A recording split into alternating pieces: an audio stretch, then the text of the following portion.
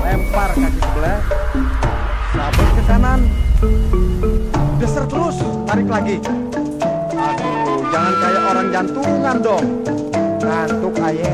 Nonton wayang semalam bang pantes.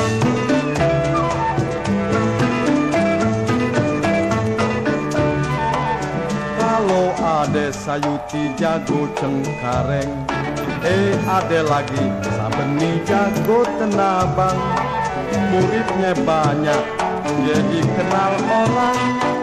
Nggak pernah dia bikin